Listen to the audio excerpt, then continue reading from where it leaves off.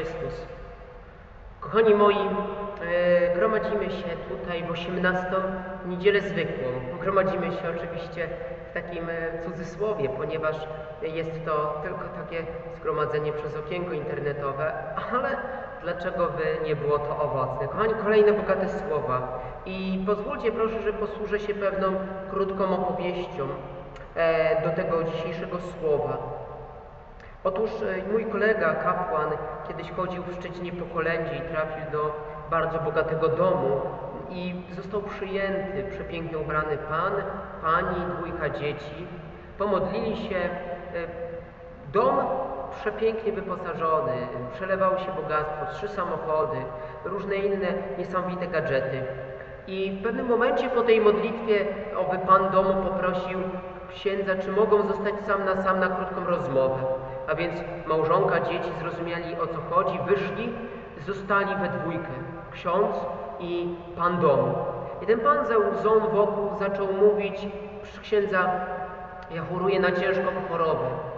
Ja dotknąłem granicy życia i śmierci. Ja właściwie byłem przez chwilę na drugiej stronie. Ja poznałem Boga.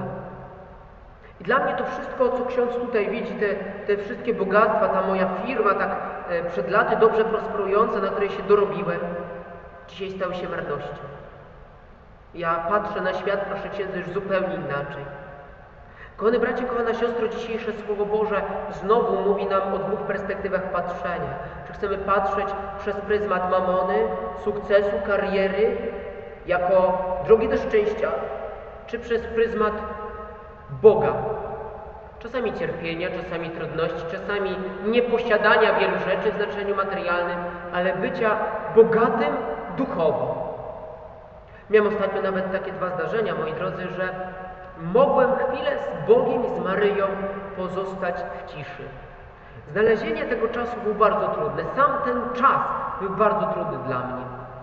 Ale z drugiej strony nic i nikt takiej radości, takiego wyciszenia, takiego pokoju serca mi dawno nie dał.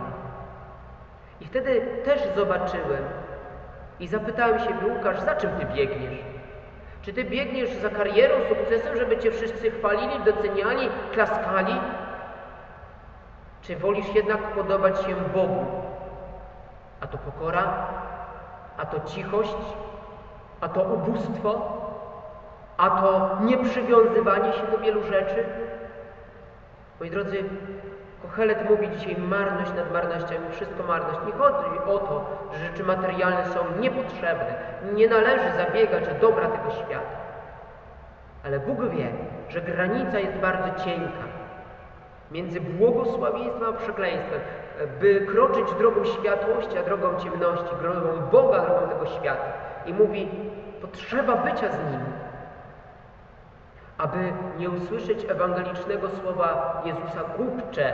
Jeszcze tej nocy zabiorą Twoją duszę i z czym staniesz przed Bogiem? Bracie siostro, jak ten czas wakacyjny, a więc wydawałoby się takiego oddechu, jednak u Jezusa nie ma czasu odpoczynku. Nie można zrobić wakacji od Boga. Niech będzie taką refleksją, którą ja drogą idę, co mi jest bliższe. Bardziej potrafię zadać pytanie, co zrobić, żeby podobać się Bogu, czy co zrobić, żeby podobać się temu światu? Co zrobić, żeby osiągnąć Królestwo Boże, czy co zrobić, żeby osiągnąć sukces i karierę? Niech Was na tę niedzielę błogosławi Wszechmogący Bóg Ojciec, Syn Boży, Duch Święty. Amen. Przepięknej niedzieli całego sierpniowego tygodnia wakacji. Z Panem Bogiem.